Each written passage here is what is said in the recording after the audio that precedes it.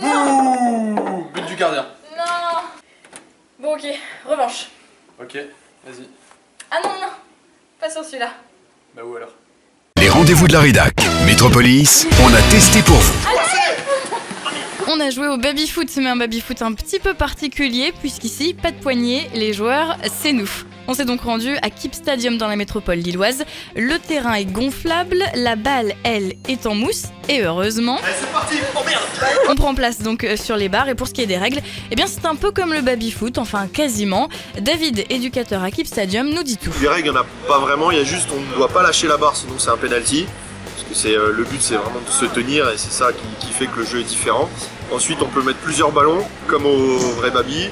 Quand le ballon ressort c'est gamelle comme au baby.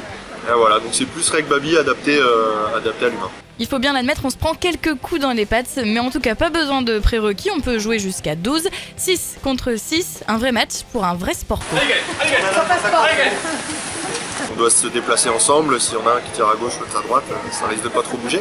Donc voilà, le but c'est ça, c'est la cohésion chez les plus grands et chez les petits, c'est le- c'est juste le plaisir de, de changer de, de site et d'être dans une structure gonflable. Un vrai sport, mais pas non plus une compétition. On peut changer de poste, on joue soit une demi-heure, soit une heure, c'est vous qui choisissez. En tout cas, à la fin, on est un peu plus essoufflé qu'avec une partie de baby. C'était super sympa, euh, vraiment convivial, on passe un bon moment. Fatigant quand même, mais l'avantage c'est que même si on ne sait pas jouer euh, au foot, on s'amuse. C'est super sympa, euh, tu cours bien, tu transpires, t'as chaud, tu donnes des coups de ballon, tu rigoles. En midi ou en week-end, en famille, entre amis, franchement ça doit être euh, encore assez sympa. Allez, c'est l'heure du verdict. Bon alors les plus pour le baby foot humain c'est très simple, c'est accessible, vous n'avez jamais fait de foot, c'est pas grave, vous allez vous éclater, c'est pas cher, vraiment le prix nickel, Euh, et puis surtout c'est nouveau, c'est un truc qu'on n'a pas l'habitude de faire ici dans la région, donc génial. C'est fun, c'est très drôle, on se prend très vite au jeu et on s'amuse bien. Ensuite, c'est pas très cher, c'est 15 euros la demi-heure, donc si on est 12, vous faites le calcul, c'est vraiment très abordable. Et ensuite, il n'y a pas besoin d'équipement, on arrive, on a le terrain et puis on s'amuse. Bon et sinon concernant les moins, euh, bah, être attaché déjà c'est le but du jeu, mais c'est vrai que ça peut être un petit peu frustrant quand on aime le football et quand on aime le sport, pouvoir bouger partout là on peut pas.